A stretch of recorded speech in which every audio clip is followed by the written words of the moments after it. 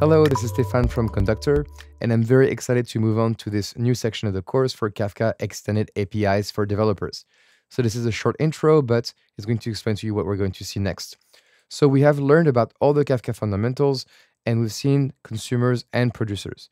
And these have existed for a very, very long time, but they're considered low level APIs because we have to deal directly with sending and receiving messages in Apache Kafka.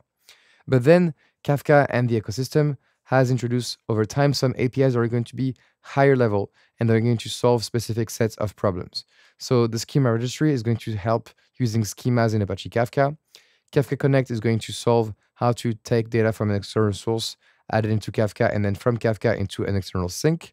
Kafka Streams is going to do stream processing and do transformations from Kafka to Kafka. And KSQLDB is going to be a layer on top of KSQL of, of Kafka Streams, sorry, to make Kafka Streams even easier.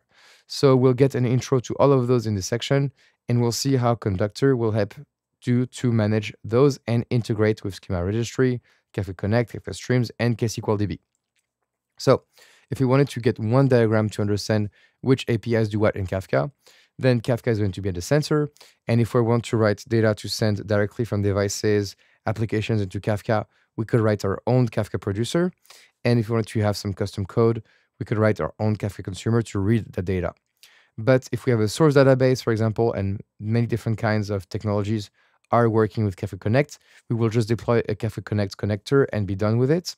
And if we wanted to sync data into target databases, again, it is very helpful for us to use a Kafka Connect sink connector. Then if we want to do stream processing, so modifying the data in real time within Apache Kafka, then we would use Kafka Streams API.